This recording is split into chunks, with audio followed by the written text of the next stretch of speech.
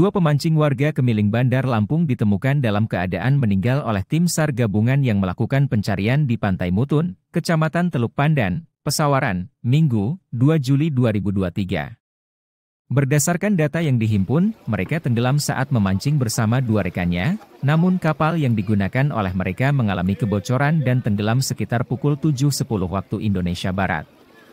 Dua rekannya bernama Yanuar, 22, dan Rusman, 23, berhasil selamat dengan berenang ke pinggir pantai, namun kedua korban Wisnu, 35, dan Kristianto, 30, merupakan warga Kemiling Kota Bandar Lampung itu tenggelam. Berdasarkan keterangan, Kepala Kantor Basarnas Lampung Deden Ridwansah yang diwakili oleh Kepala Seksi Operasi dan Siaga, Didit Permana bahwa pihaknya menerima info pada pukul 8.30 WIB dari Kasat Polair Pesawaran Ibtu Suhartono.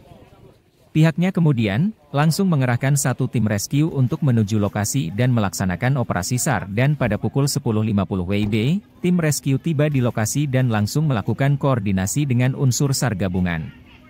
Tim SAR gabungan melakukan pencarian dengan penyisiran dan pemantauan di sekitar lokasi kejadian dengan menggunakan perahu karet Basarnas dan perahu nelayan.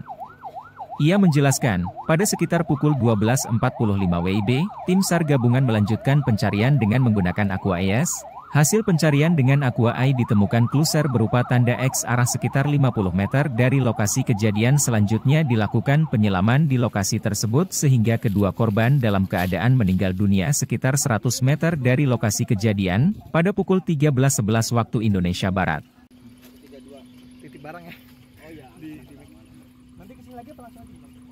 Perkembangan hasil operasi SAR terhadap dua orang nelayan yang hilang saat memancing di Sawaran untuk data korban Wisnu, laki-laki 35 tahun dan Titis 30 tahun ditemukan oleh nelayan bersama tim SAR gabungan pada pukul 13.11 waktu Indonesia bagian Barat. Adapun unsur-unsur yang terlibat dalam operasi SAR adalah yang pertama adalah Pos Binpot Mar Lempasing, Pol Airut Moda Lampung, Pol Airut Sawaran, Polres Pesawaran, Babinsa dan Babin Kamtipmas Tempasing, Forum Rescue Relawan Lampung, Polsek Padang Cermin, dan nelayan.